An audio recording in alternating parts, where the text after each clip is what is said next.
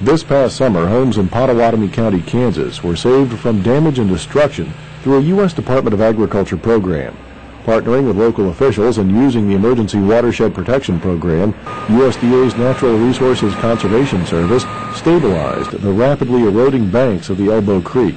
Back in spring of 2006, we started realizing some uh, severe uh, water conditions in the southwestern part of our county and involved uh, some spring rains that come through, which was dumping five, six inches at a time uh, in a short span of time. This was causing some erosion issues. We had some structures in this neighborhood that were being exposed to some bank erosion. NRCS officials studied the problem and worked with homeowners and local officials to come up with a plan to save the buildings.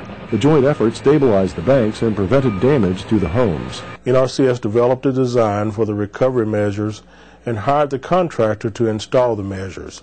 NRCS also provided construction oversight. They said they were going to fix it, and so consequently we said, well, we will participate in that, and it's, it's actually gone rather smoothly. Banks says the Creek Bank repair efforts have prevented property damage.